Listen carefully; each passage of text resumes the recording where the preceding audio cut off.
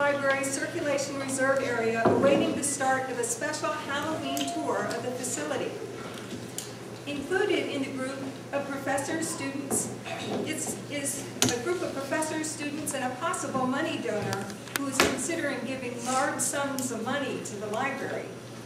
They mingle among the crowd until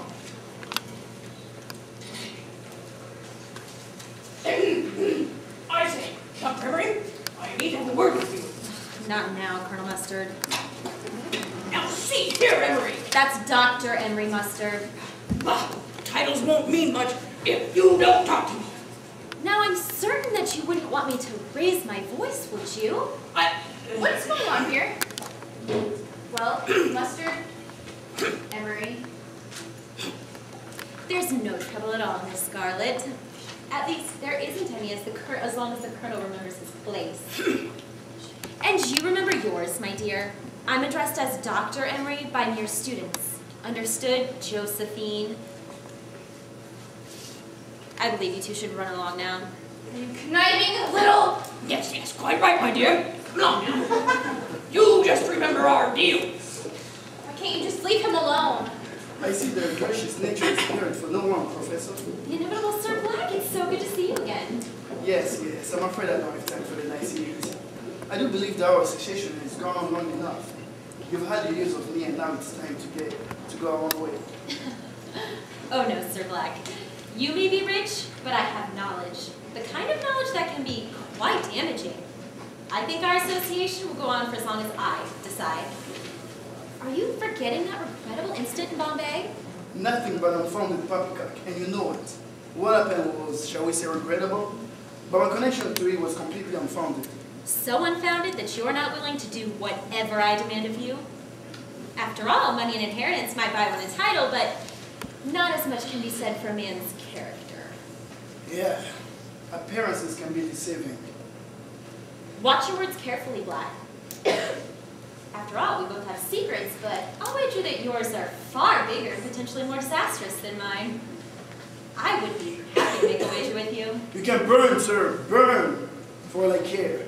We'll all burn one day, Sir Black. Yes, but I imagine you'd burn a little hotter than most. You do have such a way with people, don't you?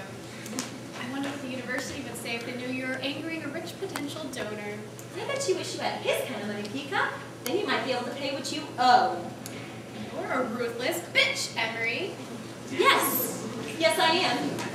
And that's Dr. Bitch to you, my dear.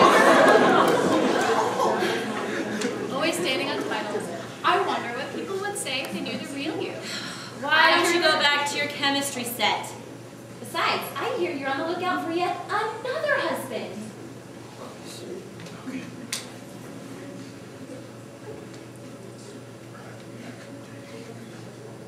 Why don't you go back to your chemistry set? Show you chemistry. Ugh, not you two. What a night for the losers to come out. Laughing now, Emery, but you won't laugh last.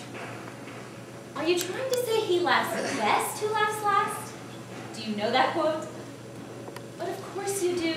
You've a doctorate in English literature, isn't that right, Green? Um, that's Dr. Green, you pedantic ass.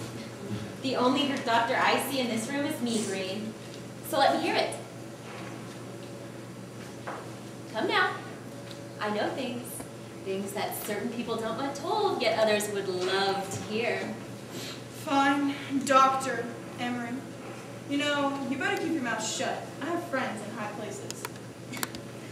So tell me, doctor to doctor, what is my silence worth to you? I'm thinking a six-digit amount, Green. Want to make it seven? I, uh, I don't have any money right now. And of course you don't. It a full moon tonight? I swear all the loonies are loose. Oh, God, not Mrs. White, too. Is there no rest for the wicked tonight? Emery, you have a lot to answer for. And once again, that's Dr. Emery, you plebeian parasite.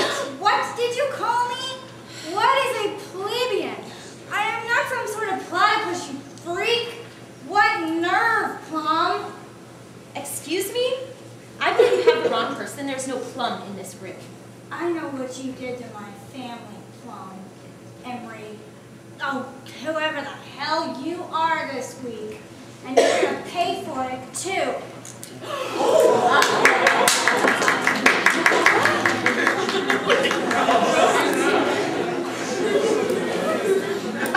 People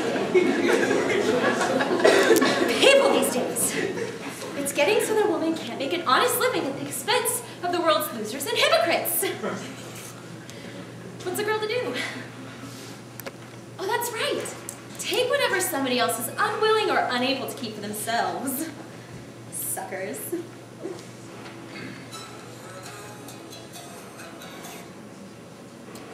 What do you want now? This had better be good. It's to die for? I'm on my way.